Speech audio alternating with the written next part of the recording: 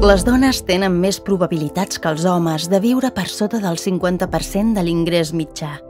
L'any 2015, la meitat de la població tenia la mateixa riquesa que les 62 persones més riques del món. Els paradisos fiscals amaguen 7,6 bilions de dòlars.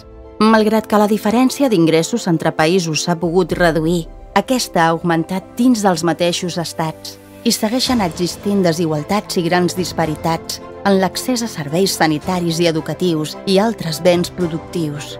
El creixement econòmic no és suficient per reduir la pobresa si aquest no és inclusiu ni té en compte les tres dimensions del desenvolupament sostenible, econòmic, social i ambiental.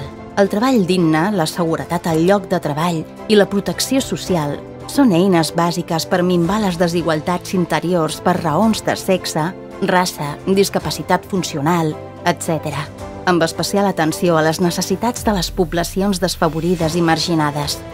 A l'espai global s'han d'afavorir les exportacions dels països en desenvolupament, la seva presència i decisió al Fons Monetari Internacional i disminuir el cost de transacció de les remeses dels emigrants. Què puc fer? Utilitzar els serveis de les entitats de banca ètica, participar en iniciatives d'acollida de refugiats, afavorir que tots els infants tinguin accés al lleure, la sanitat i l'educació en igualtat. La principal fita sindical és promoure la inclusió socioeconòmica i política, independentment de l'origen, edat, sexe, discapacitat, raça, religió o situació econòmica.